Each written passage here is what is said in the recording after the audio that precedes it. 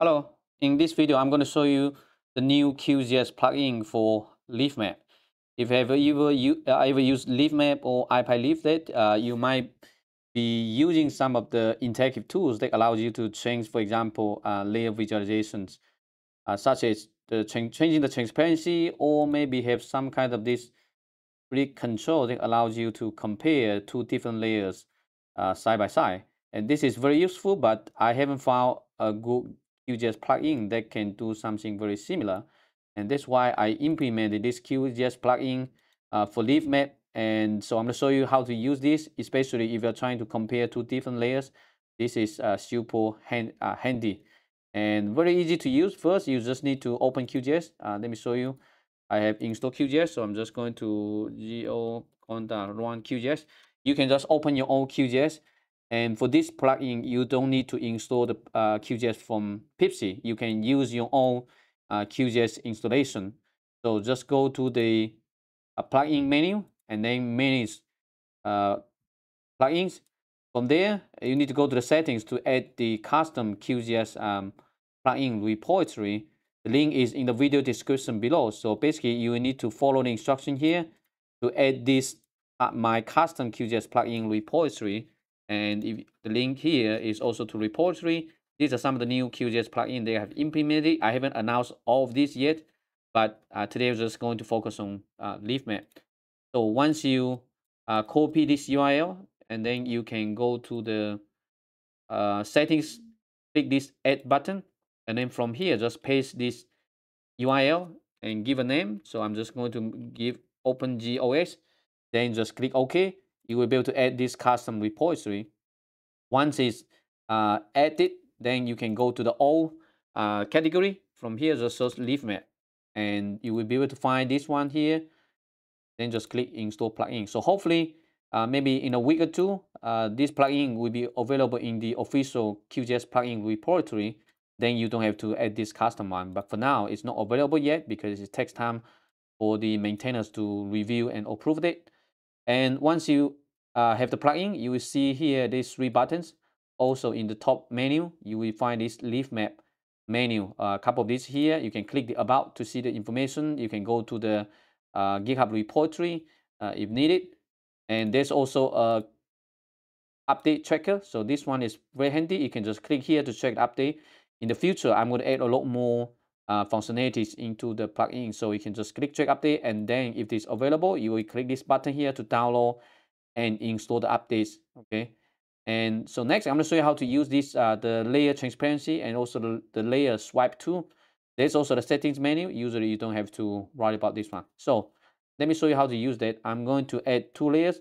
For example, I'm going to add uh, Google Maps and also Google Satellites. So these are the two data layers right now.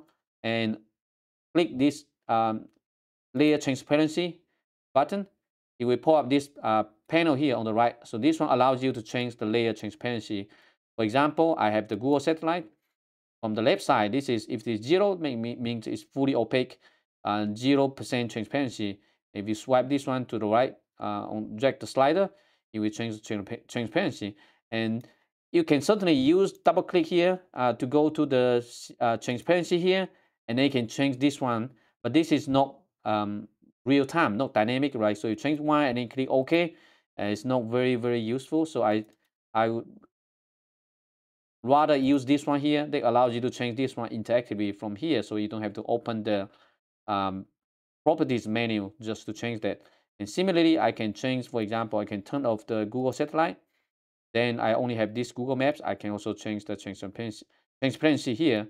And like I said here, it's very easy to use. You can also just for example, the visible layer only or all the layers. Um, so if you if you just want to focus on one particular layer, uh, the visible layer, then you can check this one to just the uh, visible only. Okay, so this is how you can um, change this to just the uh, change the layer transparency. And the next one, this is the one that I really like is the swipe tool. So just click the second button here, and then on the right, you will see this layer swipe tool panel here you need to choose the left layer and the right layer. So for example, the left, I'm going to use the Google satellite, and the right, I'm going to use the Google map. You can also change the position. I'm going to use the vertical first.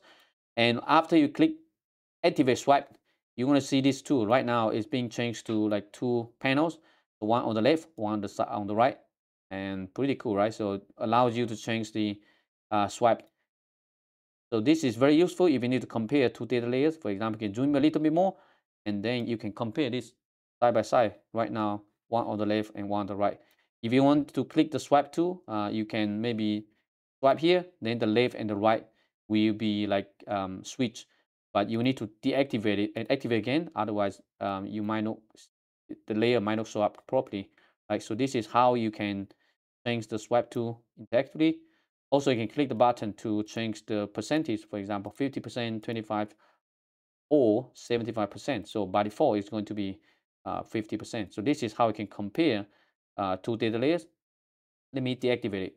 And this is not very interesting if you just compare the basemap, but the nice thing about this, it works for all kind of um, geospatial data sets. So I can drag, for example, two raster data set here on the map. And for this one, right, I can compare here. I have two these two data layer, and this is uh, Maxar open data covering uh, Libya. So there was a flooding in 2023.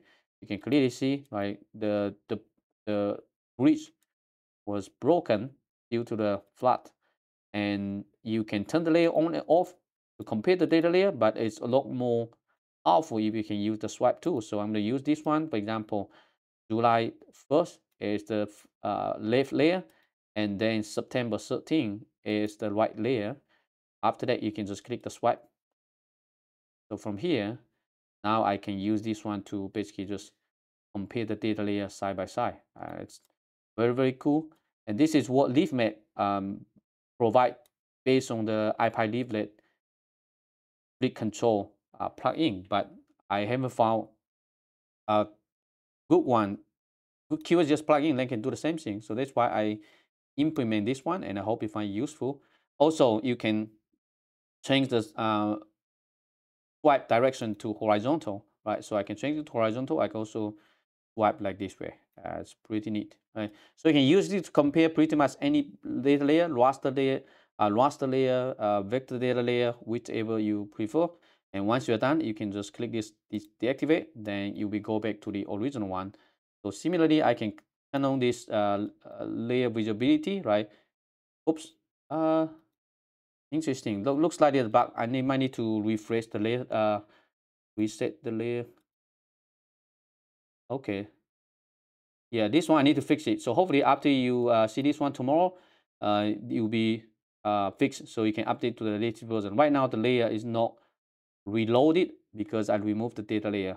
And you see this one? Yeah, this one works. Um, just the layer transparency panel I need to fix. And it should be fixed uh, once you watch the when you watch the video okay?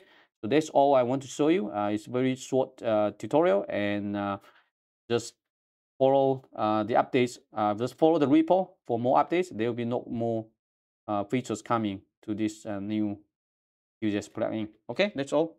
Okay bye bye